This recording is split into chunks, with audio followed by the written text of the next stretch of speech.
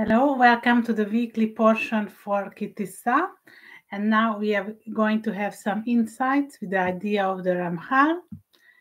Uh, and uh, we can start right now. ויקח מידם ויציר איתו בחרת ויסוכו עגל מסכת ויאמרו אלה אלוהיך ישראל אשר הלוך מארץ מצרים. And he received at their hand and fashioned it with graving tool and made a molten calf. And they said, This is the God, O Israel, which brought thee up uh, of the land of Egypt.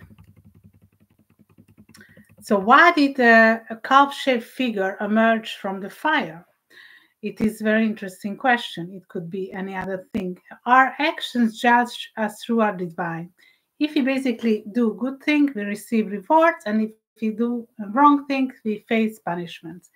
This creates a struggle within everyone, a battle between good and evil, and, and completely natural process that we experience every day.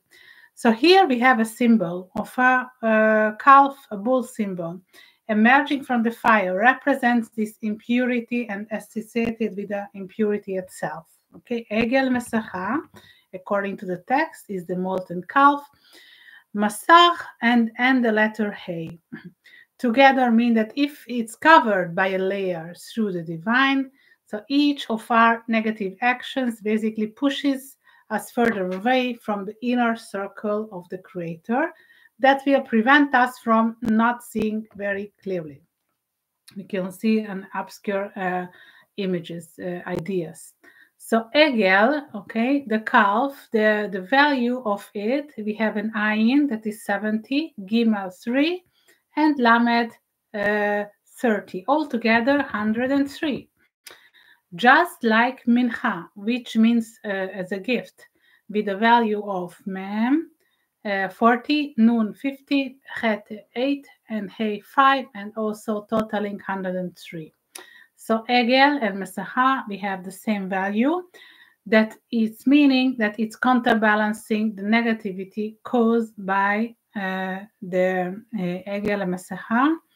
Uh, and um, this is making a balancing here. So, how could Aaron, the high priest, fall into an error of believing in these negatively charged individuals that is called the Erev Rav? It truly amounts a significant spiritual setback.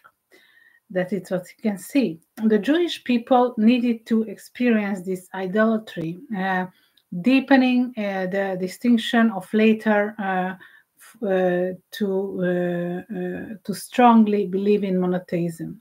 So mistake in the process of independence that is awakening the realization of we want to be, be, belong, guiding us to consciously return to the right path. So we learn uh, what not repeat and what to restrain us uh, from later. Okay, so first we need to make those mistakes in order to learn out of him. This is this was the process. So the negative individuals that mixed among the Jewish people were uh, the Erev Rav, the mixed multitude, deceiving the uh, in, in, the Jewish nation. What did they originally personally see when Aaron collected the gold from the crafting in the golden calf taken from the fire? They believed that the sanctity and holiness were associated with this act, since Aaron, the high priest, performed it. Okay, so the golden calf perceived as savior from Egypt became an idol. Interestingly, there was a need for a tangible object and the Erev Rav, the mixed multitude, claimed that this statue that Aaron uh, ex uh, extracted from the fire came from the divine. So the goal of uh, this mixed multitude was to disrupt the unity between the Jewish people and the Creator. Okay. So then what happened?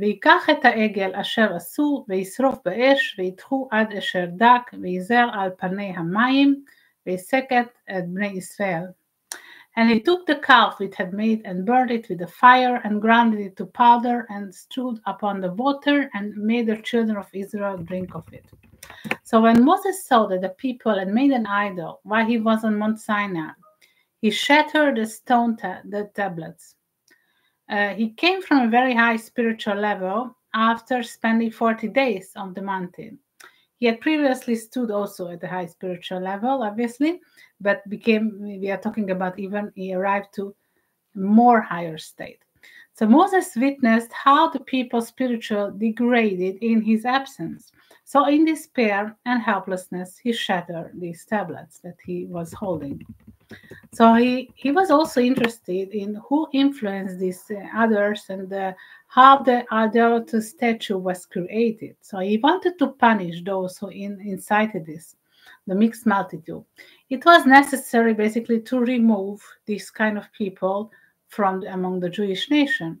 So Moses, who had earlier accepted this responsibility of dealing with the mixed multitude, was the one who vouched for because the divine wanted to, the creator wanted to kill them already in Egypt.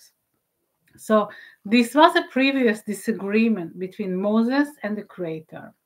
The creator had uh, initially preferred that uh, the mixed multitude won't be part of the Jewish people, but Moses insisted that uh, there would be no problem with taking them as well until this point. So this continued till this uh, pure uh, point of the um, golden calf. So we know that we have discussed during the plague uh, that uh, uh, uh, of uh, darkness. Uh, more, uh, many Jewish people died who weren't worth being saved due to their negativity.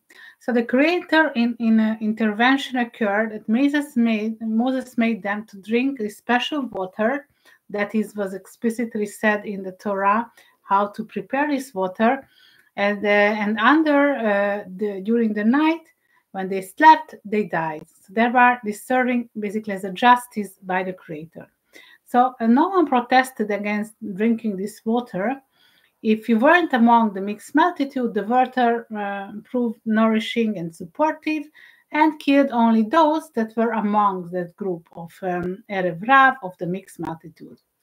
So this was basically the intervention of the Creator uh, it had to be handled very carefully to identify uh, and remove this mixed multitude within the Jewish camp. The souls that didn't meet this criteria for being uh, people of the uh, uh, uh, of the Creator. Many other souls from various nations were mixed among the Erev Rav, and their influence within the community it was indeed very significant and uh, punishing them mm, with a visible penalty would be would have been very difficult. Hence, divine intervention was necessary at this point. And also, to execute this test, Moses needed to connect in a special energy for the removal of this mixed multitude. So, this was the energy of Yosef. Okay, so Yosef having the numerical value of Yud 10, Vav uh, 6, Sameh 60 and pay 80 altogether 156 so this was the type of energy that moses um, uh, uh, uh, went into. And this is later the same energy is manifested in pinhas who defended the jewish people during the epidemic later on okay it makes basically a great courage to go against opinion of others. So it will still carry out uh, your plan. It will face you will face uh, numerous enemies. This Erev Rav could have been very uh, pleasant people, but they are so very negative. So, uh, reflecting on the story of Joseph that rejected Potiphar's wife, uh, the same energy appears uh, in Moses and in Pinchas. Uh, uh, the detailed account of this Ki Tisa portion explains how the test of a woman that has uh, suspected of the of cheating her husband is executed. It is mentioned because it is uh, having this allegory illustrating why uh, the situation it is very similar uh, with the with the golden calf and because the relationship between the Jewish people and the Creator is often like like as a marriage. So therefore, okay, uh, by this erecting an idol, the Jewish people cheated on the uh, on the Creator. on God. So this is what happened. So this is the same uh, story we have in the Torah and how a woman uh, that is cheating uh, uh her husband is going to be checked by uh, uh, properly. So this faith. so this is the reason it is explained in here in details. Uh, and what will happen with the faith and how the relationship between the Jewish people and the Creator and God will be rebuilt from this situation, it will be the future question. So something other in, uh, very interesting that uh, we have here is this face-to-face. וידבר השם אל משה פנים אל פנים, אשר ידבר איש אל רעהו וישב אל המחנה ומשרתו יהושע בן נון נהר לא, ימין, לא ימיש מתוך האוכל. And the God spoke into Moses face to face, as a man spoke into his friend, and he would return into the camp, but his minister, Joshua, the son of Nun, a young man, departed not out of the tent. So only Moses had a face to face connection with the Creator. And then uh, uh, he is asking to see uh, the glory of God. So this is what we're going to cover right now. Moses asked the Creator, "Allow me to see your glory." So Moses saw the face, uh, uh, face to was in a situation of face to face with God. So why after this he specifically requested to see the glory, uh, the glory uh, of the Creator separately? So how can we basically see the glory of some something, someone, right? Until now, the Creator spoke uh, to Moses through a filter, okay, and we know it, Amud Ha'anan, the pillar of cloud, okay, that is stated in the Torah. Um, and then we have also in this text, ויאמר לא תוכל לראות את פניי כי לא ירני האדם וחי. And he said, Cannot uh, see my face, for man shall not see my, uh, me and live. We, we have no pre, uh, knowledge of any other prophet who encountered this face to face connection with the God, only Moses. All other prophets established these indirect connections with the Creator through dreams or angelic messengers. Even that is uh, of a different nature compared to our earthly reality. The other prophets were terrified while receiving these messages from the Creator. We can imagine that Moses, in much more intense sensory situation, could fully be presented. So this kind of a connection is not for many individuals, for uh, these uh, chosen ones, right? Obviously. Moses wasn't afraid and remained very calm through this face to face encountering the uh, God. So, face to face implies a direct connection between Moses and the Creator. And then, then Moses uh, asking, Hareni na et kavodha, show me, I pray, the glory. So he, uh, he covered so much that he wanted to see the Creator without any filters to have a direct face to face encounter. So Moses wanted to observe his own reaction to understand how he could endure this presence.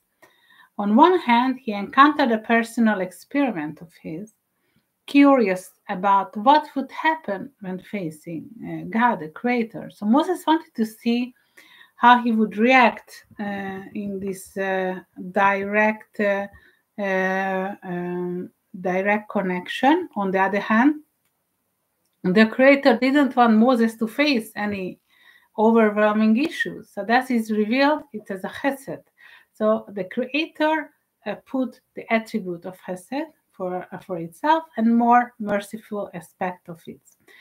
So this is why in the Torah, uh, the, the creator doesn't disclose its inner name, the tetragrammaton, but only reverse the external energy. This is already a lot comparing, uh, considering that no human could fully perceive it. So this is what we have in the Torah, ויאמר לא תוכל לראות את פניי, כי לא ירני האדם וחי. You cannot see my face, for man shall not see me and live. So the creator tells Moses that he won't be able to comprehend it fully. So it reveals an aspect that Moses would be able to grasp. It's uh, this is the good part because if the creator had shown its complete sense, Moses would not have survived that uh, presence uh, that time. So loving and seeing that the creator's name here implies uh, that the letters come alive and basically becoming entities and make themselves visible and uh, vivid uh, mm, entities. So, and then Moses was capable of knowing the creator's uh, name. Elohei Masecha Lota Selecha, who shall make no molten gods, et Hakamatzot Tishmor, שבעת ימים תאכל מצות, אשר ציווית למועד חודש האביב, כי בחודש האביב יצאת מצרים. The fast of unleavened bread shall you keep. Seven days you shall eat unleavened bread, as I commanded, and the uh, time appointed in the month of Aviv. For the mon- uh, month of Aviv, Shu comes uh, out of Egypt. We see a connection between idolatry and eating unleavened bread during Passover. It's something very interesting. Matzah, the bread of poor, protects us from accessing uh, uh, the, the ego, ego's action. Let's not forget that each festival occurs only once a year, and its uh, one occasion should be sufficient for the entire year. One who is uh, careful and to avoid eating unleavened bread during the seven day pays attention to the negative side of the Yetzer Hara, hara, the evil inclination, such a person is likely to be more mindful to other aspects in their surroundings. Everyone must rid uh, themselves of hametz. You shouldn't own, and uh, and uh, shouldn't have possessed leavened uh, bread to avoid using during Passover. So those who adhere to this practice are less likely to deviate from the right path and less likely to idolize foreign gods also. Uh, when the Jewish people left Egypt, immediately they managed to fall into this uh, idolatry that uh, we just read. So this is explains partially because they didn't have the opportunity to observe Passover properly at the first year, as they left Egypt in a very uh, quick, uh, uh, quickly. By the second Passover, however, they were more vigilant and to, they ensured the, the, they shouldn't possess to hametz at all. Likely in the first they didn't eat hametz, but they could have possessed uh, during um, the departure. So uh, this made it less likely for the temptation of idolatry to arise among the Jewish people in later times. We mentioned that Egel Masecha, Masahei, uh, that's meaning that it's covered by a layer through the Creator. Here, consuming or possessing a hametz is this negative action that obscures the picture from our eyes, that therefore we can't understand what is going on. This is something we shouldn't allow ourselves to do, even to do this day. Uh, let us not see clearly, maybe no negativity in the relationship between me and the and creator. It is worthwhile to always strive for improving uh, this connection. פטר חמור תפתה בשה, ואם לא תפתה וערפתו כל בכור בניך תפדה ולא יראו פני ריקם. And the uh, first uh, firstling of us you shall redeem with the lamb, and if you not redeem it, then you should shall break its neck. And the firstborn of the son you shall redeem, and none shall appear before me empty. What makes the donkey so special animal? And moreover, it is not even a kosher animal. Donkeys were used uh, for carrying loads during travel. We know that for the tzaddikim uh, to travel, it also has uh, a significant importance, saying that is not only a physical journey, but also a spiritual uh, journey and uh, uh, development. Abraham also used a donkey for the Akedah, for the binding of Isaac, with his uh, final test. In Hebrew, the root of the word donkey, hamor, can be, uh, uh, it is homer, meaning uh, physicality. In ancient time, donkeys were exchanged for the firstborns, as mentioned in the Torah. Uh, donkey serves humanity as a tuma of impurity, essential, uh, essentially serves a kedusha or holiness also. Since everything, even in the negative aspect, it is under the guidance of the Creator. So all energies have one starting point, the Creator, even though that one one wing is uh, positive, one wing is negative. וידבר השם אל משה, לך רד כי שיחת עמך אשר העלית מארץ מצרים. And God spoke into Moses, go uh, get the down for the people that uh, uh, who brought up of the land of Egypt have dealt corruptly. So the Creator instructs Moses to descend spiritually to draw closer to be uh, closer to his people.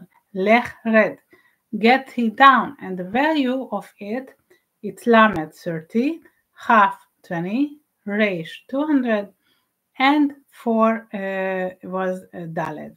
So altogether 254, just like the word hamor, okay, which signifies uh, materiality or physicality. So Moses serving his people had to descend from this very high spiritual level where he was, uh, because uh, that wouldn't benefited him as uh, being a leader uh, so much higher than his nation. So his, the spiritual distance um, mm, couldn't uh, serve any uh, anyone. So it emphasizes that these individual achievements are not important as they are the teamwork. So the goal is that the Messiah would arrive, so the arrival of the Messiah. And everyone must contribute this collectively. If it depended solely on Moses, a spiritual level, the Messiah would have come already. It is not about the individual performance. So also the Chazal teaches that the word hamor, donkey, would be coupled uh, word representing hacham, wise, mufla, wondrous, berav, many Rabbanan uh, uh, teacher. So hamor, it is a um, uh, it is made of this uh, word. וראו בני ישראל עד פני משה, כי קרן אור פניו, משה והשיב משה את המספה על פניו, עד בואו לדבר איתו. And the children of Israel saw the face of Moses, that the skin of Moses' face was sent for beams, and Moses put the veil back upon his face and he went into speaking with him. So Moses' fa- uh, face shone when he descended from Mount Sinai. However, he had to conceal this radiance. It is not uh, coincidental that the divine remains hidden in our world. Man is the most wondrous creation of the Creator, but he is prone to commit mistakes. So, hence, the divine in, um, introduced the concept that if you do good, you receive a reward, and if you do wrong, you uh, face punishment. This doesn't always manifest immediately, so that might be why uh, we interpret it more loosely and we don't understand uh, this reward punishment the consequences of it. If there were immediately consequences, every wrongdoing, the world might not be here is today. The workings of this system is remain hidden, and only a few truly understand how it operates. So, questioning why they received a certain reward or uh, punishment. There are two types of light. We have these 32 paths of wisdom, Another system is the 50 gates of wisdom. So Moses reached the 32 levels when he brought uh, the Torah from Mount, uh, Mount, Sinai, but he didn't uh, traverse all 50 gates. The sages suggest that only the messianic time will be reaching these gates when the word achieves its purpose and uh, uh, perfection. Those who attain these 32 levels will shine and radiate line, Keren or much like faces of uh, Moses, a face of Moses. He asked to see the uh, kavod, the glory of God, also having this numerical value of 32. So uh, Moses reached the 32nd level, explaining why he desired to see the Creator's face in the same way. So Moses consciously expressed that having reached the 32nd level, he wished to see the corresponding divine energies. So when the Israelites committed the sin of idolatry uh, with the golden calf, Moses unfortunately also descended from this 32nd level. From then on, his face no longer shone as well. So it was somewhat uh, better for him to conceal his high spiritual level as the people's spiritual state had also declined. So this was previously discussed in our conversation. And in the ultimately the uh, about this redemption that I mentioned, everything will change because sins won't be uh, committed anymore. Uh, after that, only ascent and descent will occur. So the 50th level, which no one has reached uh, till now, will become clear during the Messianic era when uh, Messiah Ben David arrives, and he will be the first one to possess this level. So, with these thoughts, I hope uh, for speedy uh, arrival of the Messiah, Yavo HaMashiach B'mera B'yameinu. Amen. Uh, thank you and see you and see you next week. Bye bye.